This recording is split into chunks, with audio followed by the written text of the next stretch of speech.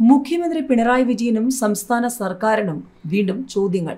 C M R L Exalogic ചോദ്യം ചെയ്യലിന്റെ C C T V ദൃശ്യങ്ങൾ സൂക്ഷിക്കണമെന്ന് ഹൈക്കോടതി. ഇ ഡി സമൻസിനെതിരെ സി എം ആർ എൽ ജീവനക്കാരുടെ ഹർജി ഈ മാസം ഇരുപത്തൊന്നിന് കോടതി വീണ്ടും പരിഗണിക്കും. ഇതിനിടയിൽ സർക്കാർ ഉദ്യോഗസ്ഥർ നന്നായി പെരുമാറണമെന്ന് ഹൈക്കോടതി പറഞ്ഞതും Keralam ചർച്ചയാക്കുകയാണ്. C M R L Exalogic ഇടപാടുമായി ബന്ധപ്പെട്ട ചോദ്യം ചെയ്യലിന്റെ സി സി ടി വി ദൃശ്യങ്ങൾ എൻഫോഴ്സ്മെന്റ് ഡയറക്ടറേറ്റ് സൂക്ഷിച്ചു വെക്കണമെന്ന ഹൈക്കോടതി.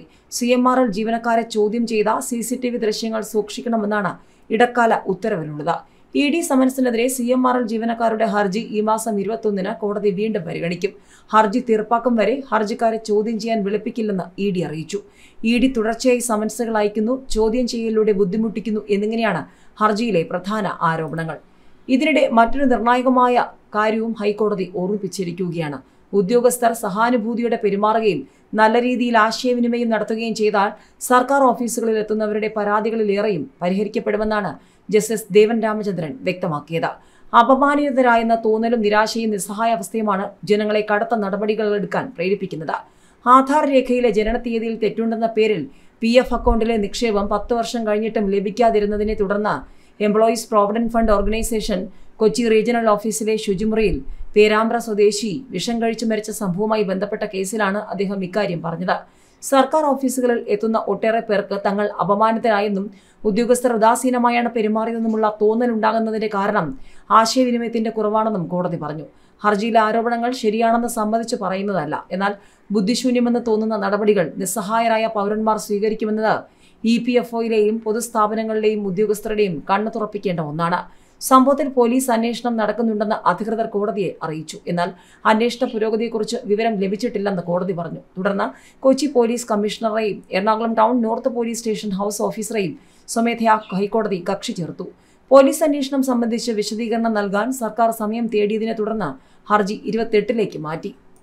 അവിടെ കൊണ്ടും തീർന്നില്ല. സി പി എമ്മിനുള്ള ചോദ്യങ്ങൾ തുടങ്ങിയിട്ടേയുള്ളൂ. സി പി എം ഭീഷണിയെ തുടർന്ന് അടച്ച അടവി ഇക്കോ ടൂറിസം കേന്ദ്രം തുറക്കുമെന്ന റിപ്പോർട്ടുകളും മാധ്യമങ്ങൾ ചർച്ചയാക്കിയതോടെ വീണ്ടും സി പി എമ്മിനും ചോദ്യങ്ങൾ. സി പി എം ഭീഷണി മൂലം അടച്ച അടവി ഇക്കോ ടൂറിസം സെന്റർ തുറക്കാൻ ധാരണയായി. ഉന്നതതല നിർദ്ദേശത്തിന് ജീവനക്കാർ വഴങ്ങി. സി പി എം പ്രാദേശിക നേതൃത്വവുമായുള്ള പ്രശ്നം പരിഹരിക്കുമെന്നും ജീവനക്കാർക്ക് ഉന്നത ഉദ്യോഗസ്ഥർ ഉറപ്പ് നൽകി.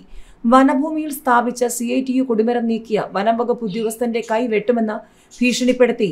C P M Thanneerthode panchayat committee Utharakumaram Perur forest സ്റ്റേഷനിലേക്ക് നടത്തിയ പ്രതിഷേധ മാർച്ചിന് പിന്നാലെയാണ് അടവി ഇക്കോ ടൂറിസം അടച്ചെന്ന് കാണിച്ച് ഡി എഫ് ഒ ഉത്തരവിറക്കിയത്.